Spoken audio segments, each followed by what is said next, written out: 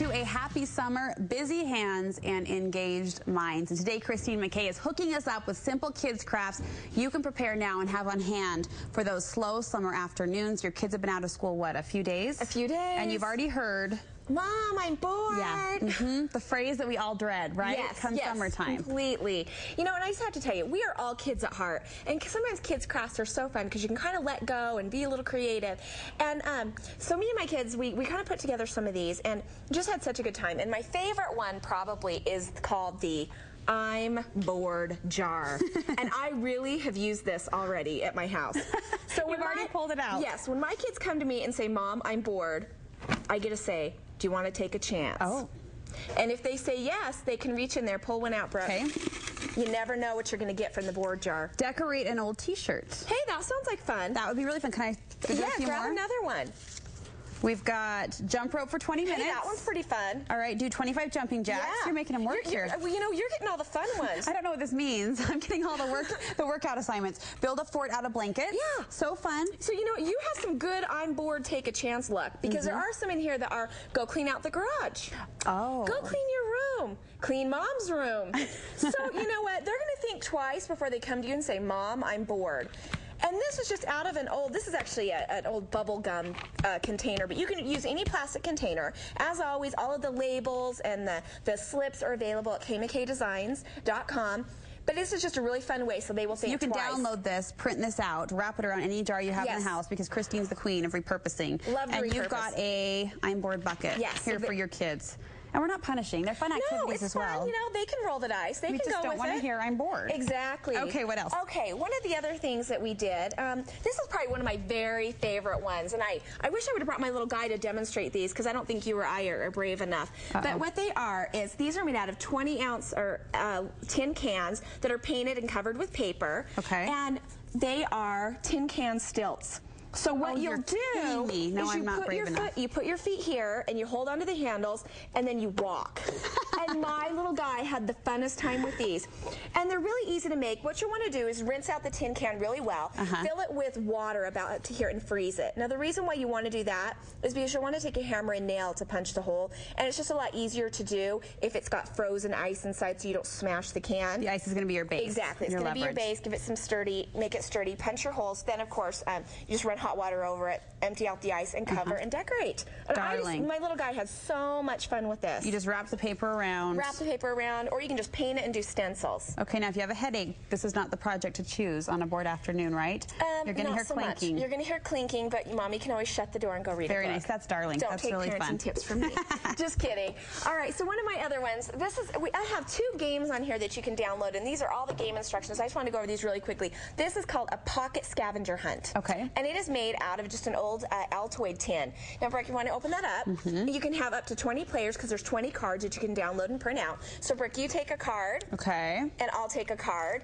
And you can put pattern paper on the back if you want to, but you don't have to. So on, um, we say one, two, three, go. And we, the one that's back the quickest with whatever's on your card I is have the a winner. sock, a pillow, and a spoon. And I've got a notebook, a stuffed animal, and a can. So if you can imagine the madness, everyone runs. Whoever's back with the three items first wins. That is fun, and you've just that done these out of basic paper you have laying It's around. just paper that you can print out at home, and I always try to be printer friendly because I know that uh, you know you don't want to print out a lot of ink; it costs Right. money. So I always try to use the least amount of ink possible, but fun little games that you can print out right at home. And all tucked in a cute little Altoid can. This one is just tons of fun. This one's called Fib Lab, where fibbing is encouraged. Oh, good. And so this also has, you can download all of the cards online. Let me open them. There we go. And there are four different categories. So for instance, I'm going to grab a people card. Okay. So that's Darren. I'm going to grab an object card. Oop, we got a bowling ball. I'm going to add a word card. Okay. Scaredy cat. And let's see, we'll just grab a place, the library. And so your, ch your child has 90 seconds to come up with a great story or a fib, and they have to use all of these components in their story. And then everyone playing can pick and choose of who the, the story, which story was the best. Oh, that is a blast. Of course, on the people category, you're wanna, going to want to include all the members of your family yes, and neighbors. Family, friends, neighbors, maybe favorite celebrities. So just, it's Darren really was fun. not a scaredy cat. He uh, used his bowling ball in the library. That and was I bet he got in trouble. And he maybe did. I don't know. Okay, we want to emphasize both of these games. You you can download Yes. all of the elements for free. And there are over 20 projects, and I made a little. It's a little. Uh, it's my very first e-booklet, so you can download this, and it has over 20 projects inside, some of which you can see on the table. So you can just print this out and then pick and choose, and there's enough to last you all summer on just those boring days. Oh, Kristine, you're fabulous. Let's touch through some of these projects Yeah. quickly if we can. Okay. Oh, let's talk about this one really quickly. This one, it was. I so love this one. This is made out of two tuna fish cans, and I have to say, one of your viewers actually sent me this idea. Her name's Tiffany,